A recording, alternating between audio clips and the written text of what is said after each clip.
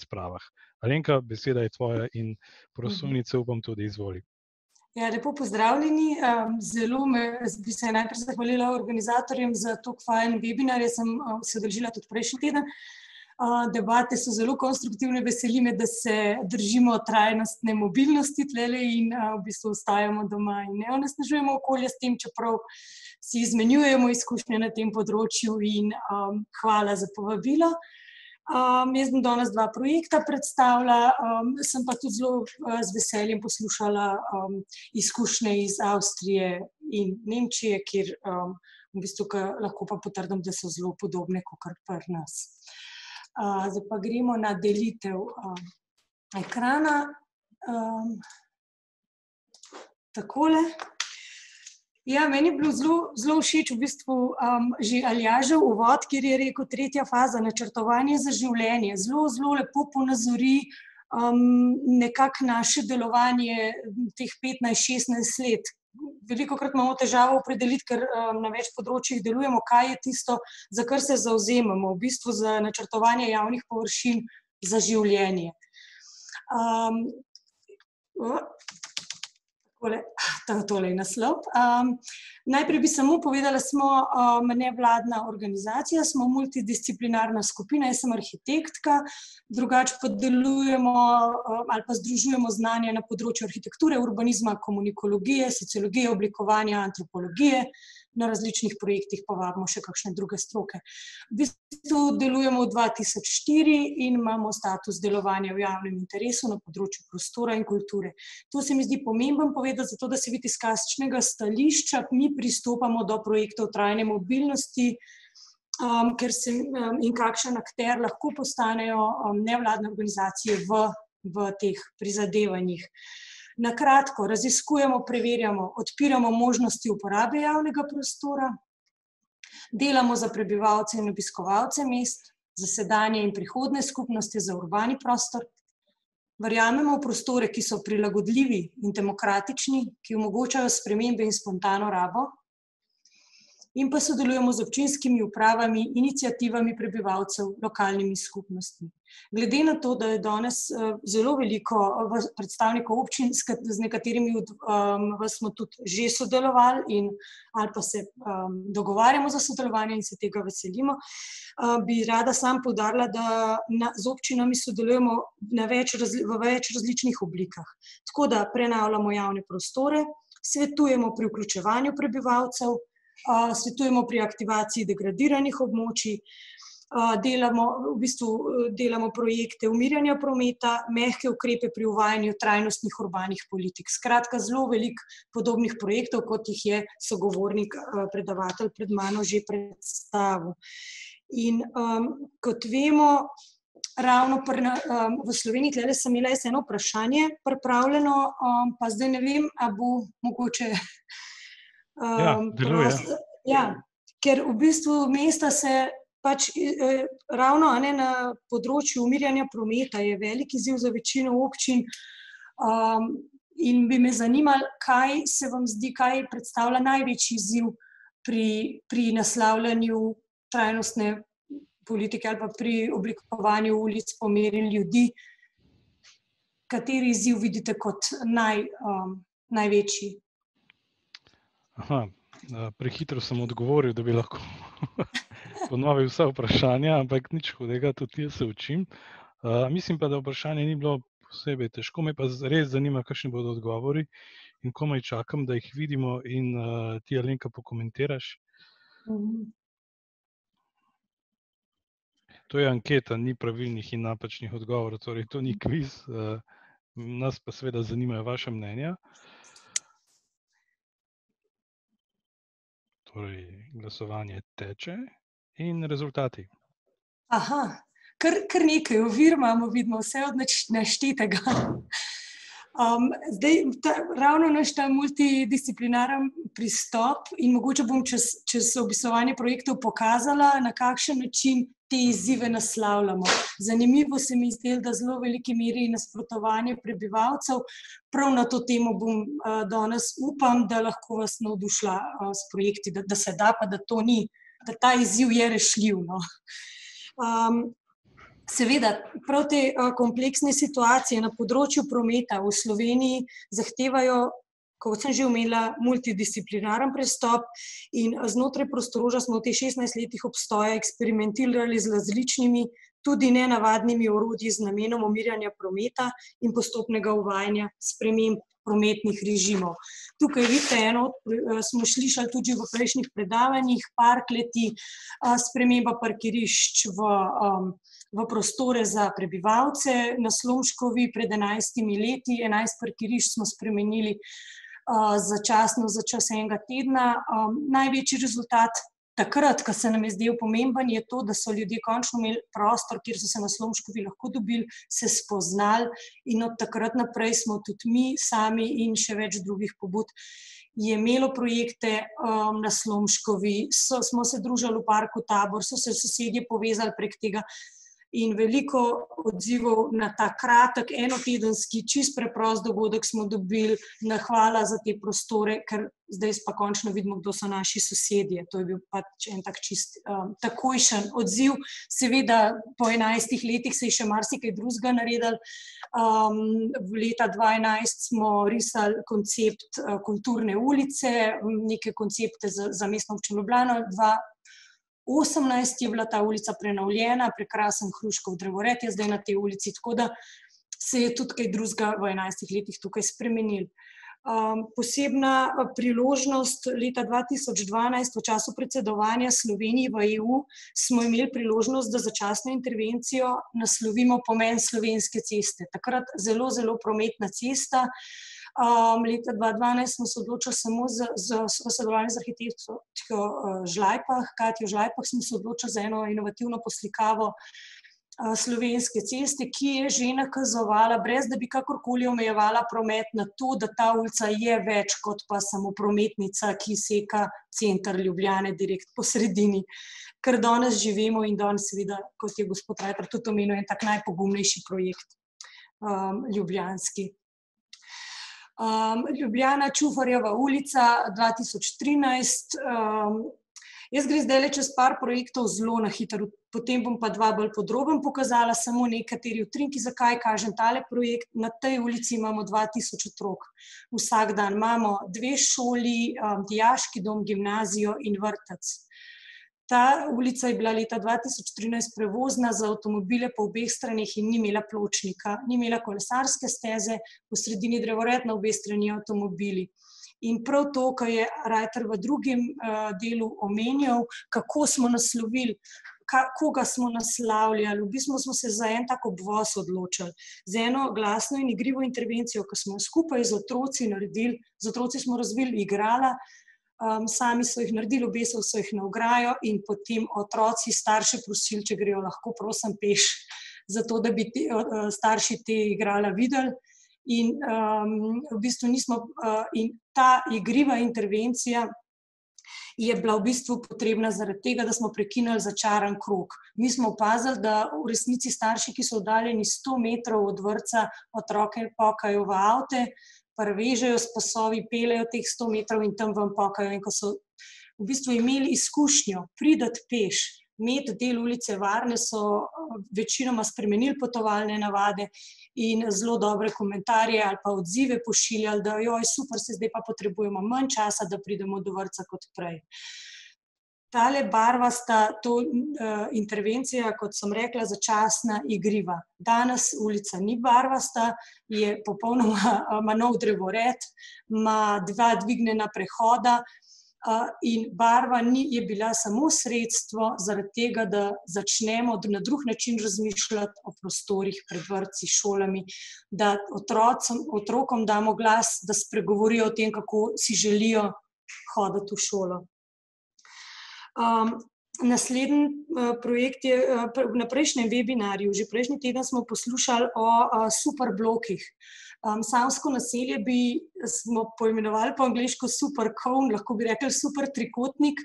Uh, 2014 smo s prebivalci začeli um, uh, prometno. Naredili prometno strategijo, ugotovili smo, da je v naselju takrat, to je šest let nazaj, zdaj je slika še drugačna, 2000 legalnih parkirišč, avto smo pa 3000 prešteli na sprehodu.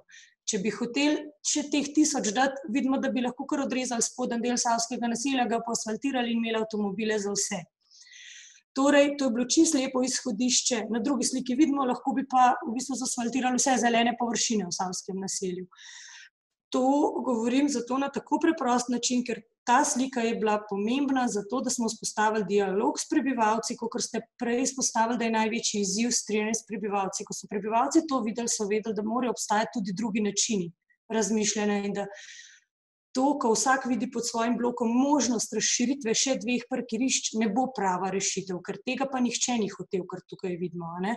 Zato smo um, pro, čist prometno rešili uh, situacijo z tem, da smo oblikovali prioritete ulic. Tri ulice so tiste, ki so vstopne v sosedsko, te zahtevajo oblikovanje za pešce, moramo imeti pločnik, kolesarsko stezo in um, cesto. Potem imamo, te, kot vidite, uh, skupne prome, um, parkirne uh, površine, namenjene pešcem in kolesarjem, in pa skupne prometne površine na teh. Ne delamo pločnikov, ampak omejujemo promet na 30, stopi, na 30 uh, km na uro. Seveda v tem uh, mreži zaznate tudi te čisto zelene uh, poti. Te poti so bile že zdaj uhojene, to so te blatne potke, ki jih poznamo iz slovenskih sosedsk. In kaj smo, v bistvu nam je bilo pomembno, predali smo um, občini prometno strategijo, ampak hkrati pa tudi sami ali pa s prebivalci naprej razvijali pristope, kako osveščati prebivalce o tej temi. Ena je, da smo vse zelene poti na prejšnji karti označili, torej prebivalci so se lahko po teh zelenih poteh sprehodili.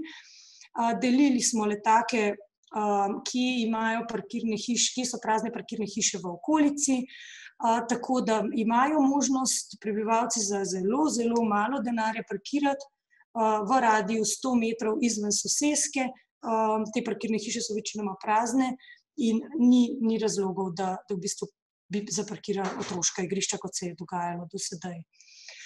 In mogoče še prej smo zelo veliki bilo govora ali pa vprašanj in komentarjev na manjše, na manjša, na manjše občine.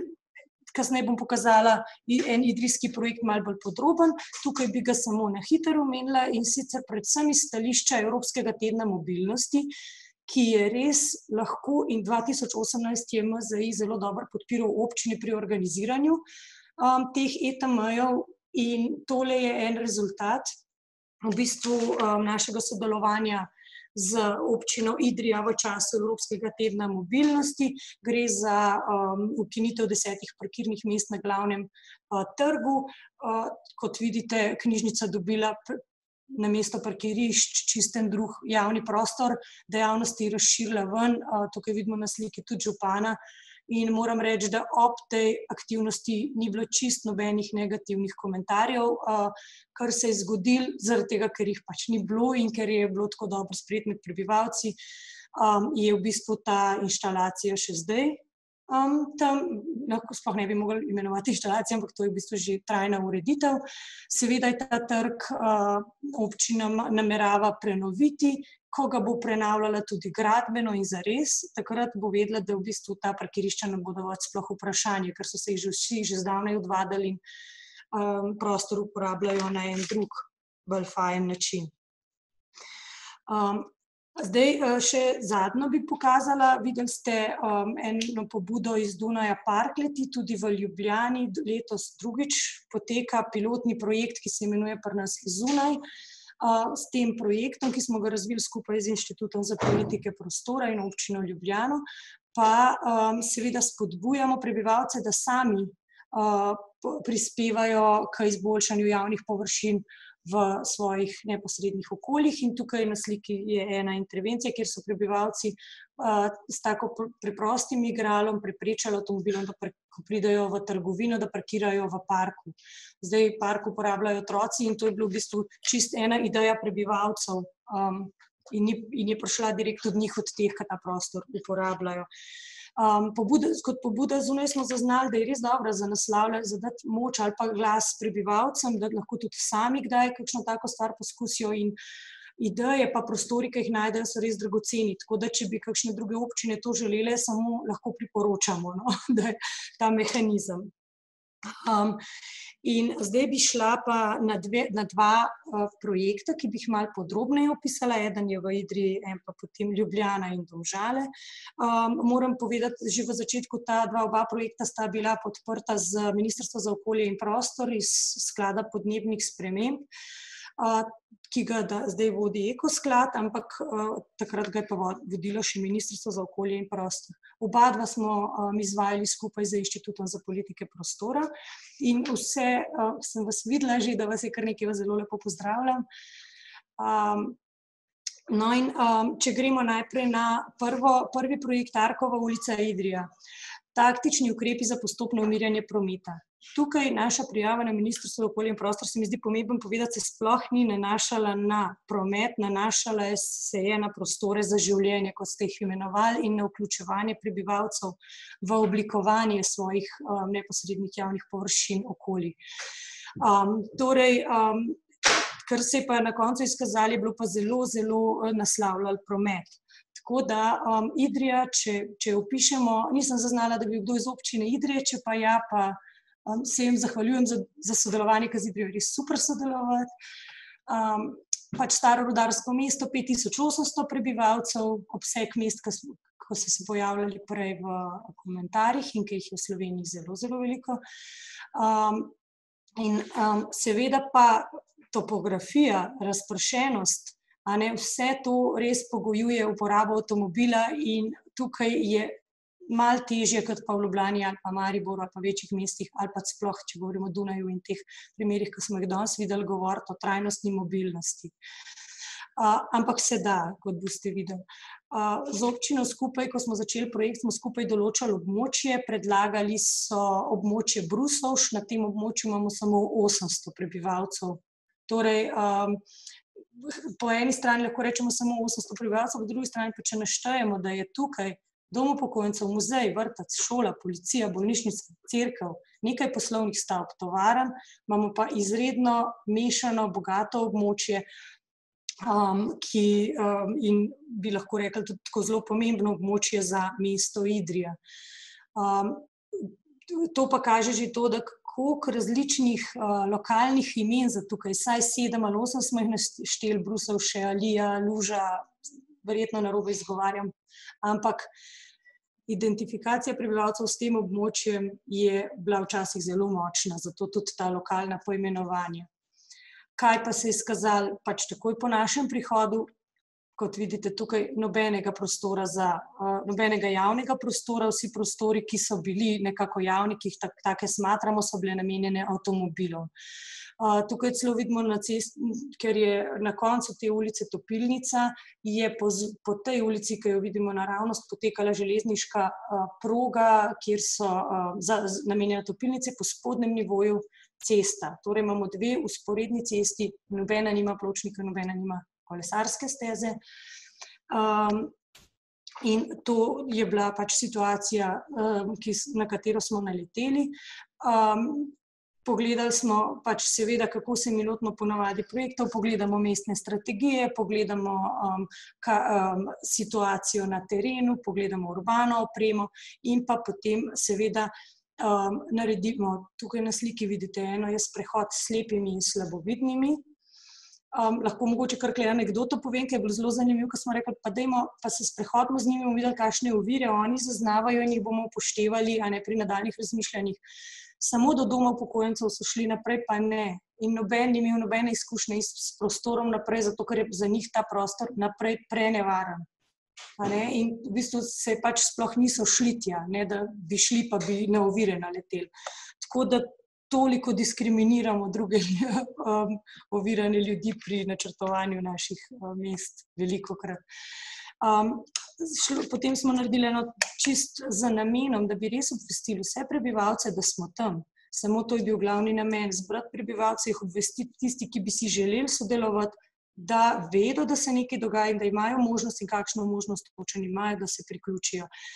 Um, vse, vsa gospodinstva so dobila letake, um, organizirali smo sestanke in delovne skupine z uh, predstavniki inštitucij, ki sem jih prej naštela, za prebivalce pa smo organizirali um, sesta, sestanek. In zdaj, če pogledate desno sliko, tokle se jih je odeležili, 4 od 800. Ko smo pogledali pa v nabiralnik, pa smo videli, da je v bistvu 120 ljudi oddal pobudo, željo in, um, in povedali, kaj si za to območje želi, ampak sestank pa ni uspel in kasneje bomo tudi videli, zakaj ne. Ene Po eni strani pa tudi je, ker ta prvi z, z otrokom, on je pa v bistvu upravnik vseh blokov in on je potem pa vsem stanovalcem naprej razširil novico, da ljudje imajo možnost sodelovanja, imajo možnost oddati pobudo, kaj si za ta prostor želijo. Naš sam projekt je bil pripravljen tudi na to, da bodo rekli, da rabijo skupnostni prostor. Pripravljen je bil tudi na to, da bi rekli, da rabijo park. Ampak iz vseh pobud se je izkazalo to, da si ljudje želijo to alejo nazaj, prej sem omenila, da se območje imenuje Alija.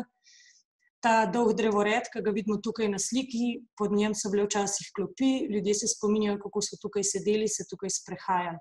In to je bila v bistvu čist ena glavnih pobud, um, najbolj množična, najbolj številčna. Seveda vse pobude smo predali mestni, uh, v bistvu občini Idrija, z njimi prediskutirali, kaj bi se dal narediti. Ampak kot sami, kot uh, del projekta, pa zasnovali testno akcijo. Torej, vedeli smo, da je večina pobud se nanaša na alijo, večina pobud se je nanašala na to, da ljudje nimajo kje sedeti, da bi si želeli po tem območju sprehajati, da ni varno.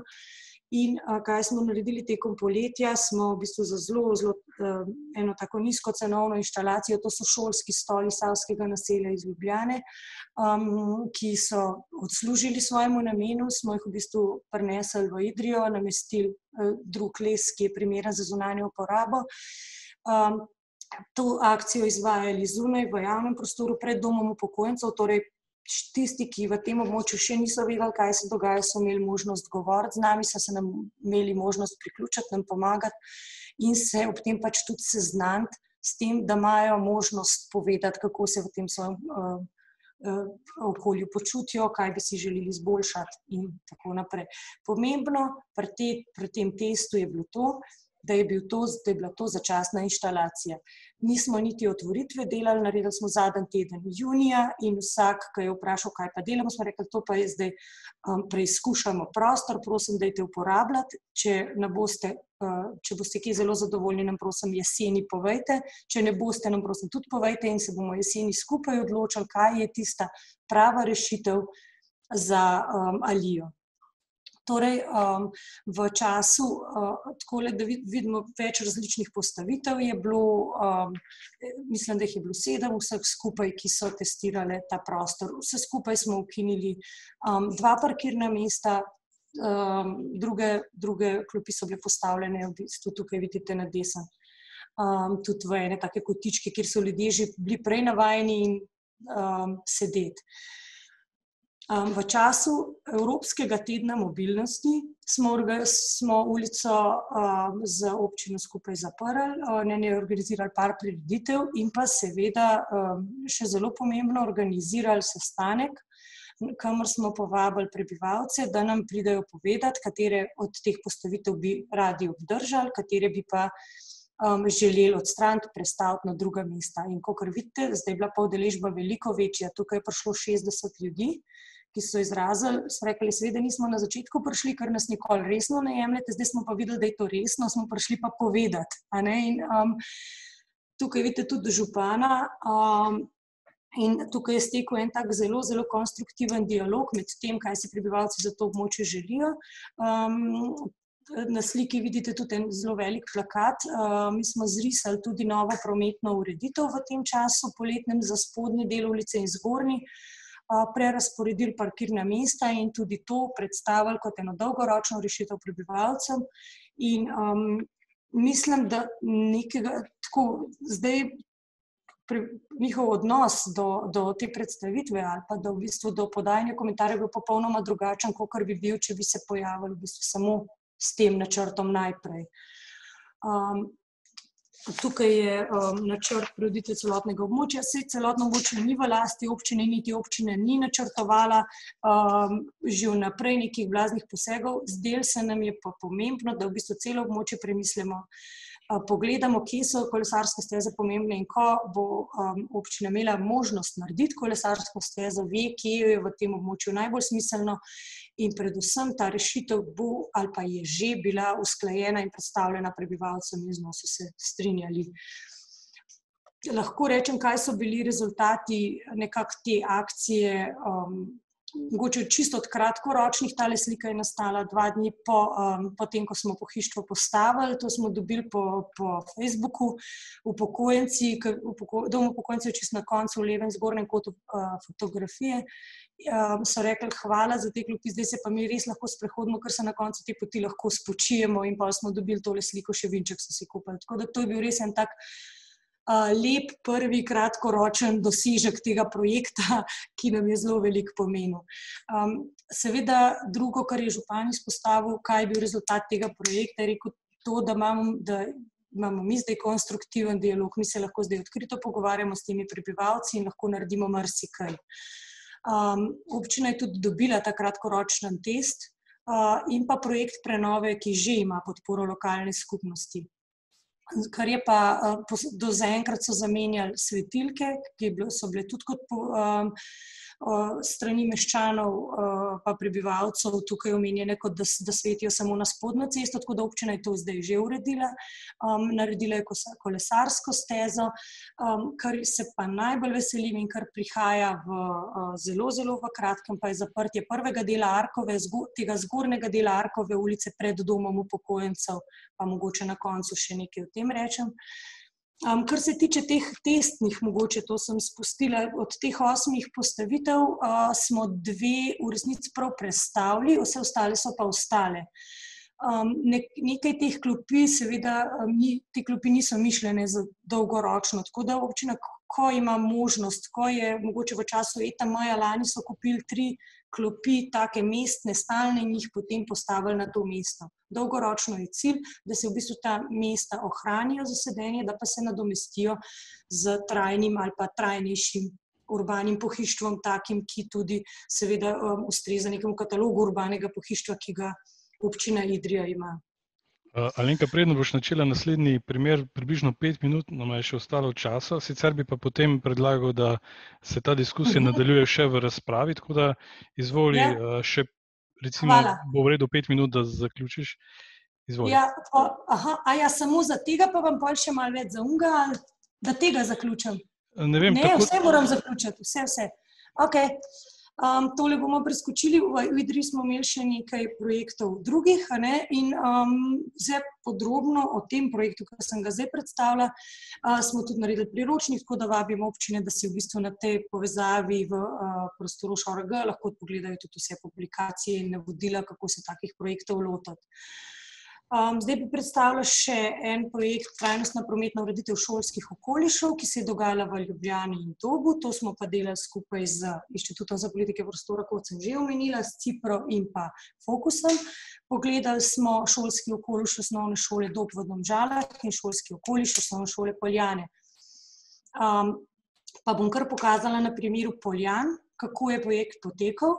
Um, na obeh koncih smo si najprej ogledali teren, uh, pogledali mestne strategije, pogledali pobude meščanov, prešteli promet. Uh, to so pač neke analize, potem smo delali delavnice, ankete z zaposlenimi, sprehode z učenci, na podlagi tega dobili neke inpute za posamezno okolico. Tole je zelo pomemben, pa grem hitro čez, ker smo že prej slišali, kako prihajaš v šolo. Vidimo, da 40% jih prihaja peš, 70% bi si jih pa želeli otrok. Ne, ko smo sprašvali otroke, mi smo šolam predlagali organizacijske ukrepe, pozna, vsi dobro poznate IPO-PO Pešbus, izobraževalne, promocijske ukrepe in infrastrukturne. In kaj so infrastrukturni ukrepi? To so minimalne preureditve križišč, pločnikov in kolesarskih stez z namenom omogočati otrokom varno šolsko pot in jim dati nove prostore za zadrževanje. Zakaj je to pomembno, smo danes že dosti slišali. Tukaj vam kažem karto ukrepov, pokazali smo tudi fotomontaže, mogoče samo en načrt, da plastično vidite. Torej, gre za to, kako postaviti prehode za pešce, kako narediti otoke, eh, kam dati parkirišča. To so neke minimalne ureditve, samo prerasporedi se te stvari, eh, brez ukinjanja parkirnih mest. Poglejte, tukaj so, kaj se je zgodilo zaenkrat na Poljanah. Ukinitev dveh parkirnih mest na tej sliki zelo jasno lahko vidite, kaj to pomeni za vidnost pešcev, za otrok, ki hodijo v šolo, 100% izboljšanje. Um, trenutno je tukaj na Poljanah kar veliko gradbišče, tako da nekaj teh uh, naše ukrep, uh, predloge se počasi uresničuje. Tukaj vidite eno zelo zgledno urejeno parkir, uh, pre, prehod za pešce, ki je bilo tudi strani otrok na sprehodih izpostavljeno kot nevarno, zdaj je to vse prej kot to. In to je pač ena taka malce cenejša varianta. Tukaj vidite pa prostor pred um, gimnazijo poljane, kjer pa lahko tudi z nekimi tlaki, mogoče malo večjimi, konkretnejšimi preureditvami naslovimo a, te prostore, a, kjer potem pešec pa kolesar dobita prednost pred avtom. Dog domžale, ista zgodba, um, tukaj je bilo več povdarka na samih cestah, katere dobijo kolesarske steze, katere imajo omeji, kakšne omejitve imajo, hitrosti, um, katere ulice se zapira v času šole, vse te ukrepe smo tukaj tudi predlagali. Um, občina se je za neko malo uh, skromnejšo rešitev odločila, ki seveda zagotavlja varnost do ene mere, ne pa popolnoma, kot zdaj vidimo v teh novejših projektih. In um, vse o tem projektu dobite na uh, internetni strani Inštituta za politike prostora v aktivno šolo.si. Um, zdaj pa bi jaz samo še mogoče pa res tele dve minutke si vzela, da res ni treba več, da se tole sprašujemo. No. Mislim, da in se zelo veselim, tudi današnja debata mi zelo všeč, ki kaže na to, da tega ne bomo več delali in da se ne bomo več tako nespoštljivo obnašali do starejših ljudi, do otrok, ki v bistvu nimajo možnosti uporabe avta in jih tako izrinjamo iz javnega prostora in Um, se zelo, zelo veselim tega projekta čez poletje, ki je zaprtje Arkove ulice na, um, v Idriji in odprtja površine za tiste ljudi, ki do zdaj niso imeli dostopa do teh površin. Hvala.